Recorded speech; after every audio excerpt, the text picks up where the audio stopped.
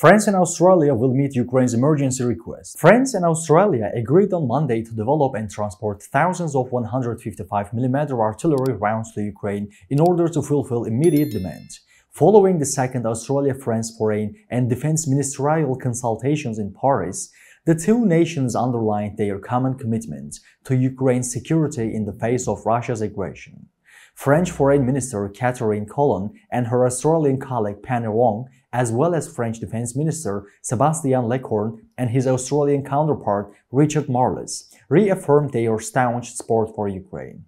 Ministers announced that intends to provide support to Ukraine, including through the joint supply of 155mm ammunition. The initiative leverages of the complementarities of the respective defense industries and meets Ukraine's urgent need for 155mm ammunition. According to the release, the two nations also resolved to rebuild a vibrant bilateral relationship based on the trust and common interests in accordance with the goals set by the two countries' presidents last year. To reach all actual news fast and reliable worldwide, please don't forget to follow and like us.